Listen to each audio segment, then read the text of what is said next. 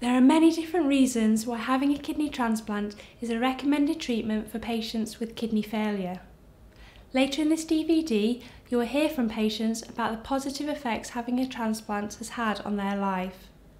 For patients on dialysis, they benefit from stopping this treatment after a transplant, whilst patients whose kidney failure never reaches this level benefit from never having to receive this therapy. Many patients on dialysis have dietary and fluid restrictions.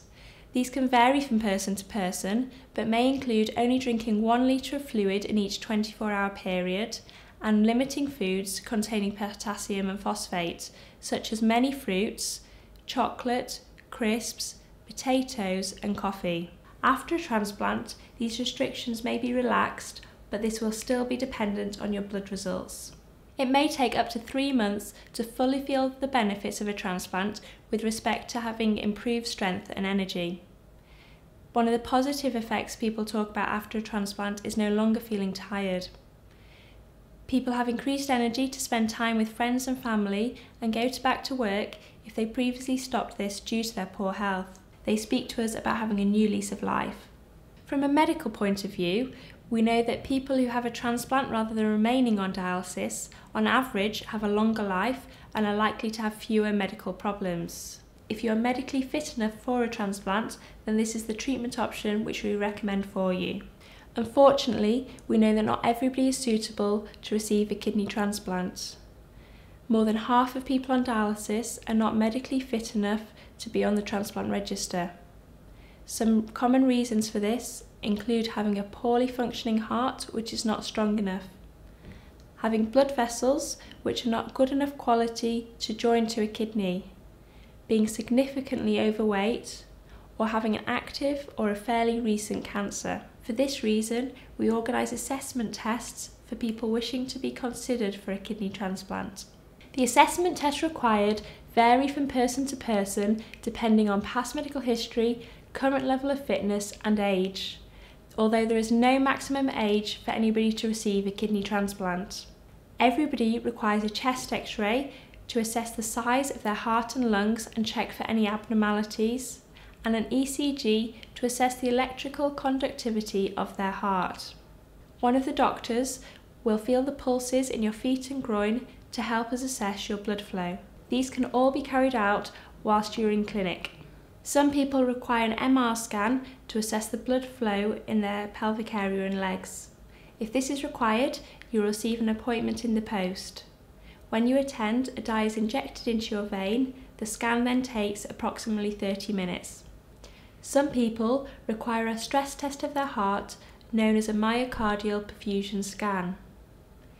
This test gives an indication of how well your heart performs under stress and whether it would be strong enough to undergo a kidney transplant operation and supply a new kidney with blood afterwards. If required, you'll receive an appointment in the post for this test.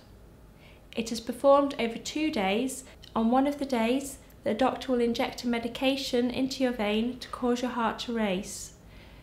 Each of these two appointments lasts up to an hour and a half and you do not have to stay in hospital overnight. Occasionally, people require a cardiopulmonary exercise test, otherwise known as a CPEX.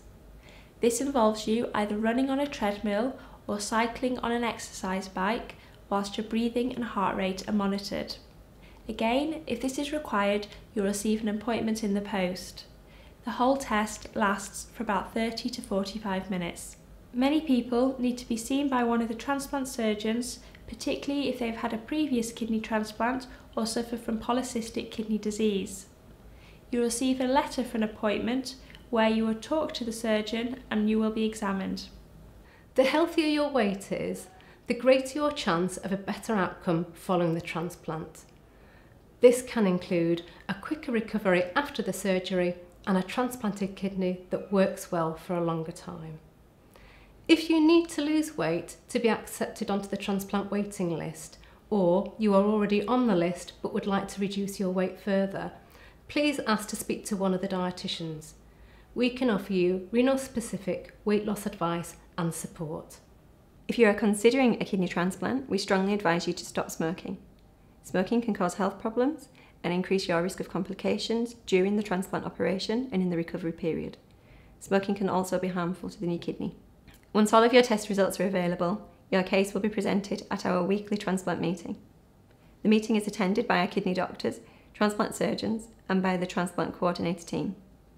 The outcome of the meeting will either be that you are considered a suitable candidate for transplant, or that you need further investigations into your suitability, or that unfortunately you're considered not to be a suitable candidate to receive a transplant.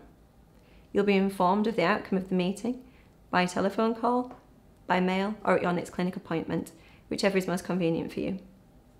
If you're accepted onto the transplant register, you'll be sent a pack of information which will explain having a transplant, your recovery, and life after transplant in greater detail. You will then receive an appointment to meet with one of the transplant coordinators who will go through this information in greater detail and discuss your progression onto the transplant register. The majority of this information can be found on our website. Before you are active on the register, tests are done in the lab to identify your tissue type. This ensures that you are matched with the best kidney for you. These tests take around 4 to 6 weeks to complete. You will then need extra bloods taking every 3 months to stay on the register. One of the transplant coordinators will inform you when you are active on the register.